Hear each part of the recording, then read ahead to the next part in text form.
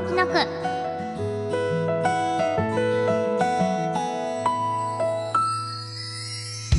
皆さんこんばんは小原好みです。この番組は私小原好みがいろんなことを心置きなくおしゃべりしていく番組です。本日は10月16日。この日は何な何がありますか？皆さん。はい。本日は A&G オールスター2022でございます。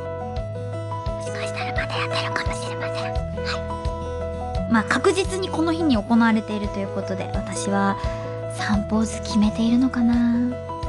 無色無地ポーズギャルピースえーっとココラジポーズ。えー今撮っている現段階の私も忘れております。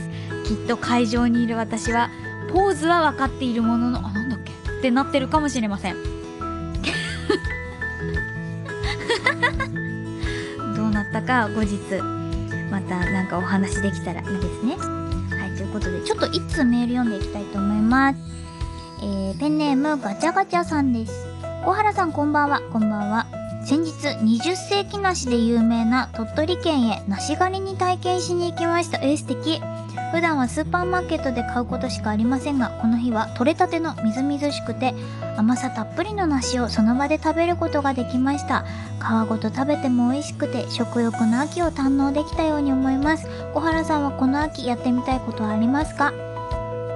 いやーめっちゃ秋なイベント。本当だね。食欲の秋を堪能されてますね。素敵や。梨大好きなんですよ。そう。実家いた時はなんか親戚からかな梨が送られてきたのでいつでも食べれたけど今はスーパーで買う梨意外と高いね。はあ 秋やってみたいこと。そうですね。えーっと無色無地という写真集が6月に出たんですけれども実はあのロケ地に別の候補があったっていうのがいろいろありましてそこへ訪れたいなと思っています。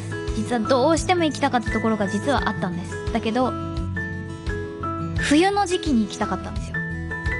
でも結果あの撮影実際の撮影でいた場所でよかったねってことにはなったんだけど行く前の候補段階でここに行ってみたいっていうところがあったんですよ。だからそこに行けたらいいなって思ってます。もし行けたらご報告します。行く時は愛花さんと絶対行きましょうねって言ってるんで。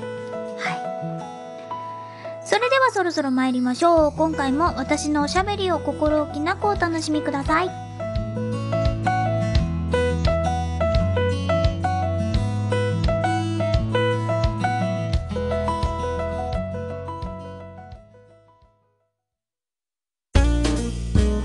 ココネームかわらっちゃさんからいただきました。ココちゃんの思うかっこいい食べ物は何ですか？鮎の塩焼き？小原好みの心置きなく。改めまして小原好みです。かっこいいと思う食べ物？なんだろう？何ですか？フォアグラ。フォアグラ？なんで聞いといて笑っちゃったんだ。確かにかっこいいわ。いやなんかキャンプとか魚で釣ってなんかあやの塩焼きなんかこう刺して焼いて食べで食べる時絶対みんなハフハフ言いながらもこう豪快に食べると思う。だから食べ方とかもかっこよくなるんじゃないかなって思ったけど言うてああいうの塩焼き食べたことあんのかな私。人生で12回ぐらいしかない気がする。うん。えカワラッチョさんは何がかっこいい食べ物だって思うんだろうね。はい。ということで、ふつおた、ここから読んでいきます。えー、ここネーム、アイスブロックさんです。ここちゃんこんばんは、こんばんは。格好のいい名付け3週連続特番、これ見て最終回見なさいよ。第2回に石川海人さんが出演されていました。うん。そしてここちゃんが演じるさチについて、石川さんが、サチが可愛いこと言うたびに最高って言うと、ココさんが自答っていう顔で見てくるんですよね。多分、肝がられてたと思います。初共演でこんなことしてる自分、ちょっとマジでキモいな、とコメントされていました。ココちゃんは石川さん演じる、えー、なぎくんについて印象的なシーンはありますか？なるほど。え、いや、これ理由があるんだってちゃんと。待って。え、ま、え、そうだな。あのー、大体、あの、過去の稲付け、あ、まず最終回終わりましたね。見てくださった皆さんありがとうございました。そして、アフレコでの話なんですけど、基本撮るとき、あの、エリカ役のあかりんとか、あと遠山さんとか、あとカイトさんと私ってメインメンバーで4人揃って撮ることができたんですよ。で、あの、えっと、多分、なおさんとかあかりんが言ってると思うんだけど、あのなんかさ、3人の中でさ、カイトくん推し特に幸をめっちゃ推してないっていろんなところで言ってたんだけど、あのね、アフレコでもそれをひしひと感じてたんですよ、私。幸としてマイク前で、だって鬼がなんとかかんとかでって言ったり、なんかちょっとふ、ふいって泣いちゃったりとか、なんかこう可愛いこと言うたびに石川さんが後ろで、うん、とかって言ってるのは分かってたの。で、そうすると、あかりんとかなおさんが、は、出たよ。幸推し。みたいな、なんかそういうのがあるから、私が、はカイトさんって思いながら、見たら結果私がじとっていう顔で見るっていう流れになっちゃう。で、私はないし嬉しいんだよ。嬉しいんだけど、もろ出すなって鬼とかって思いながら、現場にいた。でも、カイトさんはずっと、いや、違うよ。みんなのことをしてるよって言い続けてたから、真相はわかりません。きっとカイトさんみんなをしているでしょう。こんな話、イベントで多分あるんじゃないかな って思います。あとは、石川さんの演じるなぎくん。なんか、石川さんが演じたことで、なぎくんがすっごいほんと男の子っていうか、人間になったなって思いました。あの、こういう感じで来るよねっっていうところももちろんそうなんだけど、なぎとしてこう、ストーンって綺麗に来てくれるところもあったり、あとは、カイトさんが演じるからこそのなぎのこう人間性っていうのも確立されたと思うから、私掛け合いしててすごい気持ちよかったんですよね。まあ喧嘩するっていうシーンも楽しかったけど、なんか本当にお兄ちゃんいるなっていう風に感じられたんです。だからそういう意味では、幸を最後まで全うできたのはカイトさんのおかげだなとも思っているので、うん、本当に感謝の気持ちでいっぱい。だから別にそんな自動っていう風には思っていません。はい。ということで、続けて、あ、こちらも同じく、えー、アイスブロックさんからいただいたメール読んでいきますね。えー、ココちゃんこんばんは、こんばんは。現在、ギャオさんにて、えー、月が綺麗が順次配信されておりますが、前は前はキュンキュンと、そんな青春を送りたかったなという気持ちと、恋したいなという気持ちが入り混じり、なんとも言えない気持ちになります。ココちゃんは恋愛アニメ、または恋愛映画を見た際、恋したい気持ちになりますか？また、恋人に求める最低条件はありますか？なるほど。そうなんですよね。ギャオさんで、月が綺麗が配信開始されておりまして。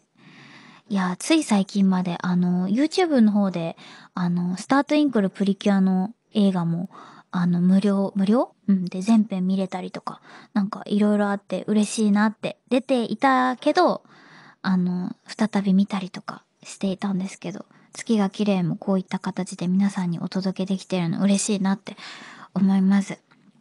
うんと、そうね。恋愛アニメ、恋愛映画見たら、え思うよ。こんなキュンキュンしたいって思うよ。いつも思う。なんかこれは学生のところから変わってないかな。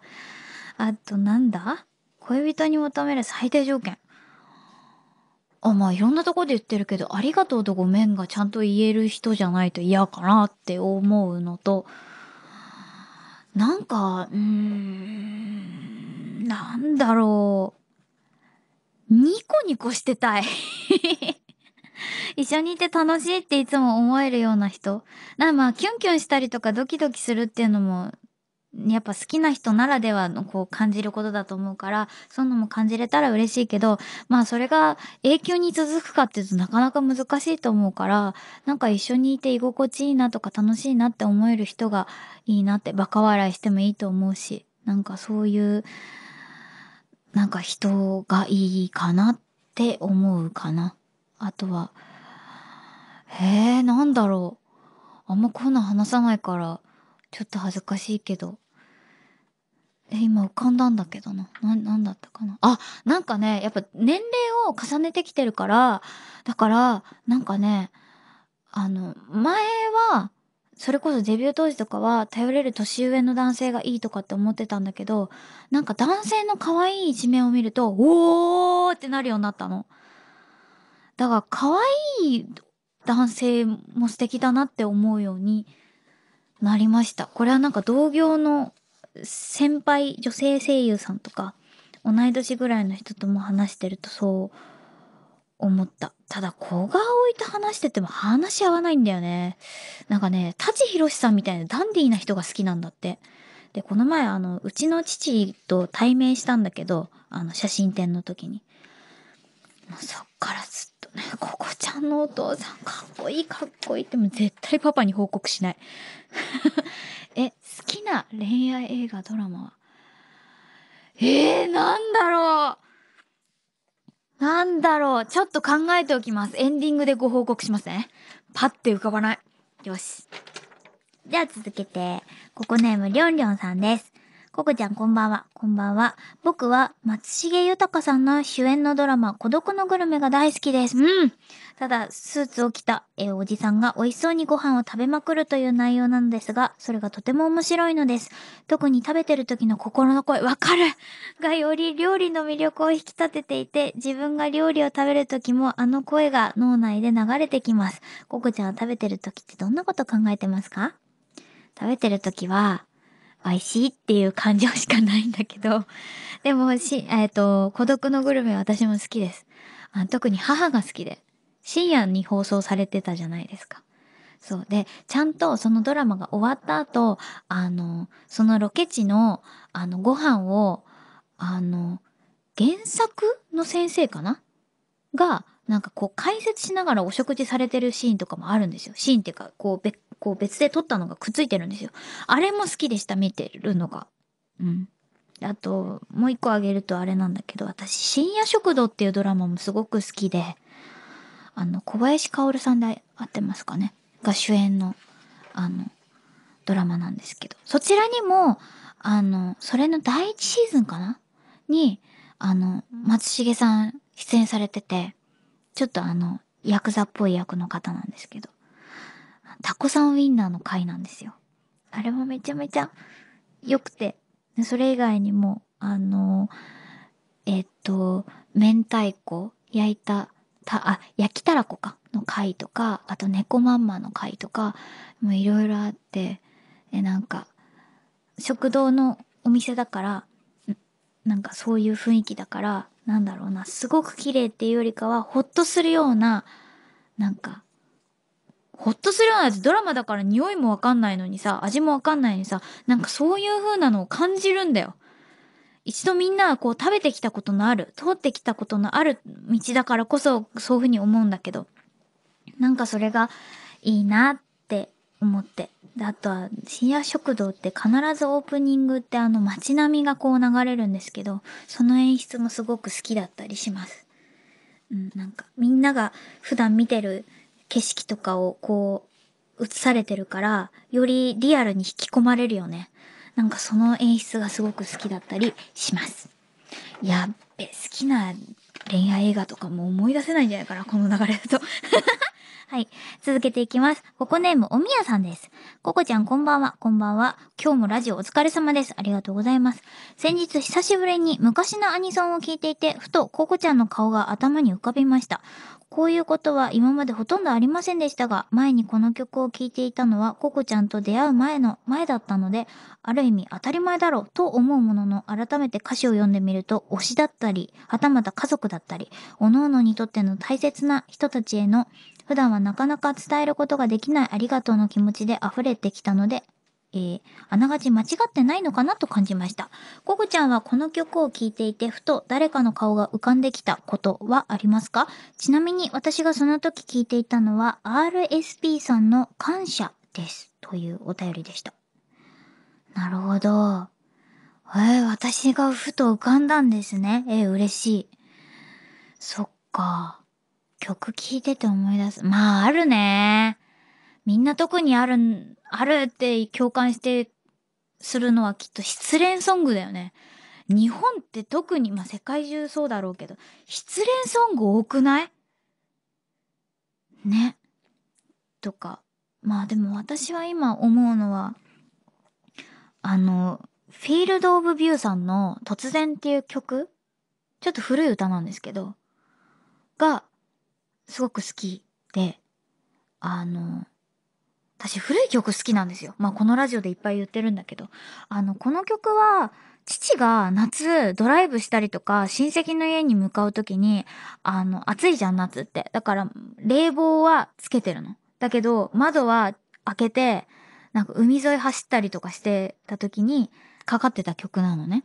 当時は曲名とか誰が歌ってるかとかもさっぱりわかんなかったんだけど、もうなんか刷り込まれてて、ビーズさんとこの曲と、とか、うん、古い、ちょっと80年代 ?90 年代の歌は、だいぶ父の影響でこう、刷り込まれてるから、で、特にこの突然っていう曲は印象に残ってるから、多分、将来、こう、なんだろうな、年を重ねてって子供ができたとか、あとははたまた、まあ、よく、よろしくないけど、父がいないってなっても、多分聞いて思い出すだろうなっていうぐらい、私の中では結構思い出の曲かもしれない。なんか、夏暑い日走って途中で車止めてソフトクリーム買ってもらってなんかお水となんかアイス食べながらなんかお父さんと話してとかっていうのを覚えてるしああ思い出したけど今年のお正月か実家帰った時にあの、冬だ、冬なんだけど、かけたんだよ。で、あの、アイスクリーム屋さんってか、なんかデザートショップみたいなとこ行って、アイス買って二人で駐車場で食べたの。ちょっと今度またやろう。でもなんか多分やったらなんか泣きそう。なんでだろう。はい。なんか、私にとってはこの曲が思い出深い曲ですね。続けて、ココネーム、タンポポさんです。ココちゃん、ここにちは、ここにちは。最近ココちゃんが今まで着てこなかった系統の服に挑戦していると言われていたのを聞いてメールしました。私は1年半前に大学に着ていく服に迷っているとココラジにメールを送った際、ココちゃんからいろんなものを着たらいいよと言ってもらったことをきっかけに毎日お洋服を決めるのがとても楽しい時間になりました。また、私は黒が似合わないと思い、1ミリも着ようと思わなかったのですが、思い込みを捨てて着てみたら案外着れることが分かり、すごく世界が広まった気がしています。今後もいろんな洋服を身にまといたいです。そしてよりたくさんのお洋服を身にまとったココちゃんが見れることにワクワクしています。ぐだぐだな文章になってしまいましたが、ココちゃん大好きです。最後に告白されたよ。ありがとう。ええー、あ、私も大好きです。あ、そして、メール覚えてますようん。何着たらいいかって。私もそう、最近その服の系統が変わったんですけど、あの、パーカーとかトレーナーってずっと着てこなかったんですよ。家以外で。あの、部屋着以外で。最近着るようになりました。なんだったら今日も着てます。うん。で、下はスキニーパンツじゃないんだけど、まあ、ワイドパンツか、あとあの、細身だけどあの、す、裾足の、足、足首に従ってちょっと広がってるパンツを履く機会が増えました。で、これでなんか、あの、バケハかぶってメガネして現場行くと最初気づかれない。あれ？コアラさんってそんな感じでしたっけ？ってすごい最近言われる。うん。でもなんか、思い込みなのかなって思っってたから、私も同じようにね、タンポポさんと同じように思い込みかもしれないって思ってトレーナー着てみたら、まあ楽だし、なんか、なんか意外といいのかもしれないって。しかも今ちょっと若干赤毛チックな茶色だったりするから、なんか、いろいろ服に合わせて、髪に合わせて、なんか変えれるのも楽しいなぁなんて思ったりしてます。あとトレーナーのいいところは音がしないね。アフレコにすごく向いてるね。っていうのを6年目にして気づきました はい。ということで、ふつおたはここまでとさせていただきます。それではここからは期間限定のこちらのコーナーをお届けします。お疲れ様のコーナー。今回のグッズ、ココラジグラスにプリントされたお疲れの文字にちなんだコーナーです。ということで、リスナーの皆さんから頑張ったエピソードを送ってもらい、私が最後にお疲れ様と声をかけます。ね、ココラジグラス出してからさ、なんか偶然かもしれないんだけどさ、あのぐらいのサイズで、なんか、いろんなレトロなグラスがさ、東京駅とかに並んでて、この前。あ、ちょっと時代先取ったんじゃないって思ったけど、昔からあるじゃん。だから調子乗んなよって思ったっていう時間がありました。何の報告？じゃあちょっと読んでいきますね。えー、ここネームゴブさんです。大学の夏休み中にやっていたバイトで、小学生以来約10年ぶりにクワを使って土を耕しました。肩と腰は痛くなったし手にも豆ができましたが昔の思い出が蘇ってきて一日中楽しく仕事ができましたゴブさんお疲れ様です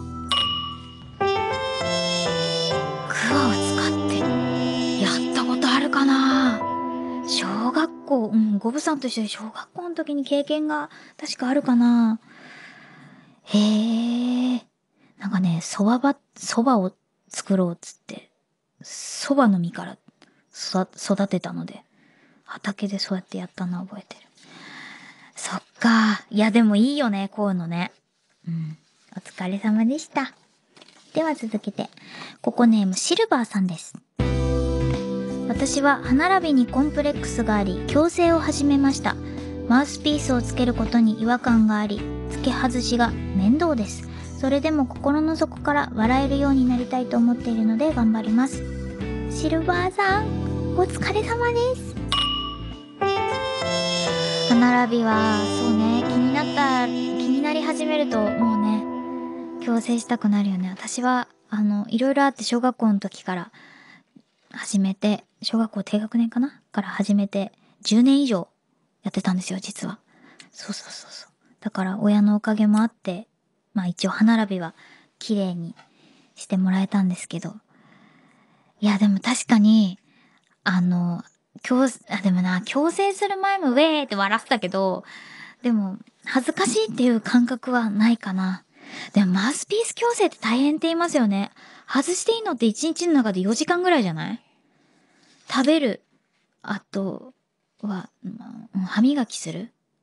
基本口に何か入れるとき外さなきゃいけないから、付け外しが大変なのと、まあ洗ったりしたりとかさ。だから大変だよね。頑張ってね。では、続けて。ここネーム、くのしまさんです。先日、中学時代からの友達の結婚式があり、出席してきました。趣味が写真の私はそこでたくさん写真を撮ったのですが、その思い出を形にして渡したいと思い、そこから80枚くらい選んでプリントし、アルバムに入れて友達にプレゼントしました。写真選びや並びを考えたり1枚ずつの明るさの調整やトリミングを行ったので結局1週間くらいかかってしまいました。それでも渡した時に喜んでもらえたので作ってよかったです。くのしまさんお疲れ様です。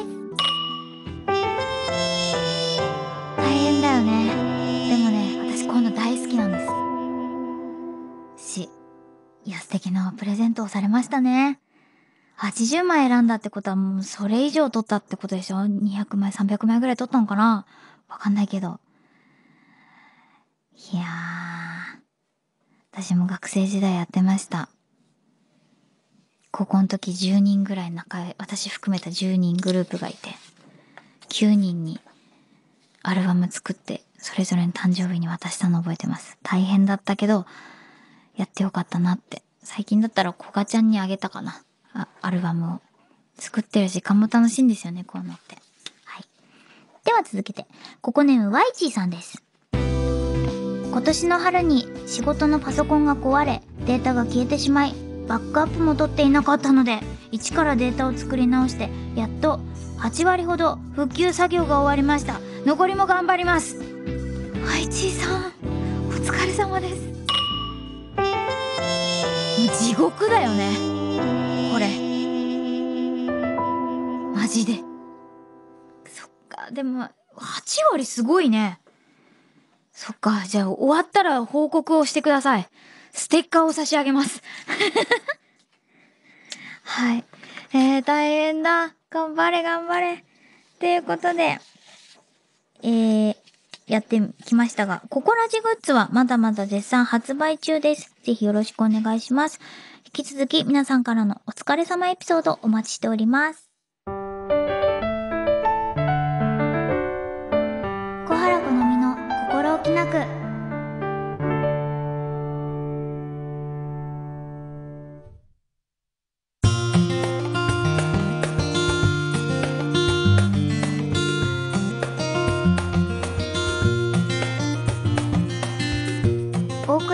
ました。小原好みの心置きなくお別れの時間が来てしまいました。この番組では皆さんからのメッセージをお待ちしております。宛先はおはがきの場合郵便番号105-8000に文化放送小原好みの心置きなくまで。メールの場合はココラジアットマーク JOQR.net ココラジアットマーク JOQR.net です。ココラジのスペルは KOKORADI となっております。私への質問や、ふつおた何でも構いませんよ。ぜひ送ってください。そしてメールを送る際は郵便番号住所本名を忘れずにお願いいたします。今回のステッカーなんですけれどもココネームゴブさんにステッカーをお送りしたいと思います。夏休み中のバイトクワを使って土を耕した。いい経験だよ。本当に。私もやりたいもんちょっと。でこれここらち聞いてないといいなうちの家族。だったらうちの畑手伝うか最近やり始めたから。言われるかな。どうか聞いてませんように。えじゃあやりたくないってことじゃん。ダメダメ。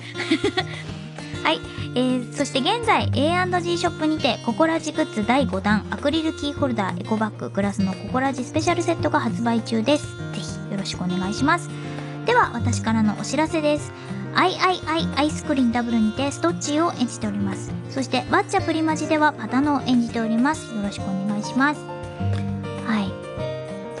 好きな恋愛ドラマもしくは映画ってことだったんですけど映画が今浮かんでなくてただドラマはパッて浮かびました。プライドが好きです。木村拓哉さんと竹内優子さんが主演のあの「メイビー」って言葉がよく出てきてで古き良き女性ってずっと竹内さん本編であの木村さん演じる春にずっと言われるんですけどあのあのなんだろうな女性っぽいあのでもすごく強くは主張できないっていう女性らしい女性を演じた竹内さんのお芝居すごく好きでなんかもう何だったら正反対で全然相性良くないんじゃないって思うんだけどそこの2人が惹かれ合っていくあの流れがすごく好きなんですよ。あとね竹内優子さん見てると母がなんかこう思い浮かんでしまってもう母親にそんな話するともうそんな恐れ多いからやめなさいって言われるんだけど若い頃の母にちょっと似てるんですよね。うん今も綺麗なんだけどね。そう。だからなんかああいう人になりたいってちょっと母も重ねて見てしまってるところがあります。あでもそそんな竹内さんのようなそんなそんななんかもうキラキラな感じではないんですけどでもうちの母は昔美人だったんでそうそうなんかはって見ちゃうんですよね、うん、そして今週の一言はここネーム AJ パンクさんから頂きました。設定幼稚園児くらいの元気な女の子。私と遊びたい人はこのまま残ってください。遊びたくないという方は解散です。はい。ということでそろそろお別れです。ここまでのお相手は小原好みでした。来週のこの時間も心置きなくおしゃべりしましょう。バイバイ。